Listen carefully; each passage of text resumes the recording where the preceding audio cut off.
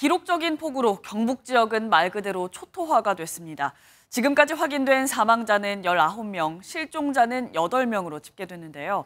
당국은 구조 인력과 장비를 대거 투입해 실종자 찾기에 총력을 기울이고 있지만 또다시 비가 내리고 폭우도 예보돼 있어 어려움을 겪고 있습니다. 안병수 기자입니다. 흙더미가 어지럽게 쌓여 아수라장이 된 마을. 구조대원과 중장비가 투입돼 허벅지 높이만큼 쌓인 흙을 일일이 퍼냅니다. 산사태로 매몰된 실종자를 찾는 겁니다. 마을에서 마지막 남은 실종자인 60대 남성은 아직 발견되지 않은 상황.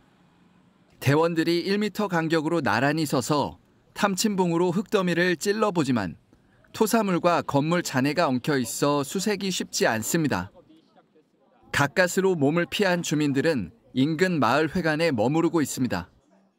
볼 것도 없어. 싹 다 나갔어. 아무것도 없어. 숟갈 몽디 하나 못 건졌어.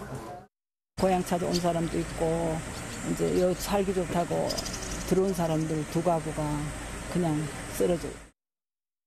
경북 재난안전대책본부에 따르면 어제 저녁 6시 기준 사망 19명, 실종 8명, 부상 17명으로 집계됐고 주민 1,359명이 임시 숙소에 머무르고 있습니다. 당국은 해병대 1사단을 투입해 복구 작업에 착수했고 추가로 1,200여 명을 투입할 방침입니다. MBN 뉴스 안병수입니다.